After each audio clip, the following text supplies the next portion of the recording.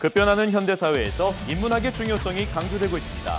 도서관에서 떠나는 인문학 여행, 지금 출발합니다.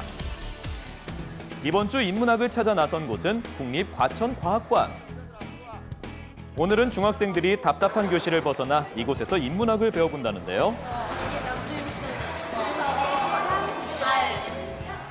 과학관 곳곳에는 과거 조상들이 발전시켰던 과학기술의 흔적들이 시선을 사로잡습니다. 하지 때가 제일 작고 정수 때가 제일 길어. 그 중에서도 오늘은 별자리의 역사를 거슬러 올라가 볼 여러분이 텐데요. 알고 있는 큰 곰자리, 작은 곰자리, 사자는 다 서양 별자리. 근데 우리나라 별자리가 있었어요. 여기에 있는 천상열차 분야 지도가 바로 우리나라 별자리예요.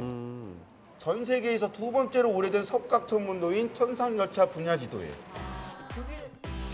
국보 제228호로 지정된 천상열차 분야 지도는 무려 1,400개가 넘는 별을 290여 개의 별자리로 새겨 넣은 천문도로 당대 천문 지식이 총망라되어 있습니다. 그리고 태조 이성계는 이 천문도 제작을 통해 조선 왕조의 정통성이 하늘의 명임을 암시했다네요. 뒷면 봐봐, 뒷면. 아 여기 있다 여기. 우리가 흔히 사용하는 만원권 지폐 뒷면에도 천상열차 분야지도가 숨겨져 있었다는 사실. 조상들의 지혜가 우리의 일상과 맞닿아 있어 더욱 놀랍습니다.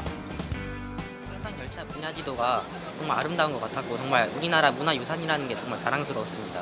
천문학이 별이랑 별자리랑 그리고 조상들의 생각과 이해와 그런 게 담겨 있다고 다시 한번 느꼈어요. 이번 주 기류의 인문학을 소개합니다. 서울시 노원구에서는 건축을 주제로 한 가족 탐방이 경남 창원시에서는 명화를 주제로 강연이 준비되어 있으니 자세한 내용은 홈페이지를 참고하세요.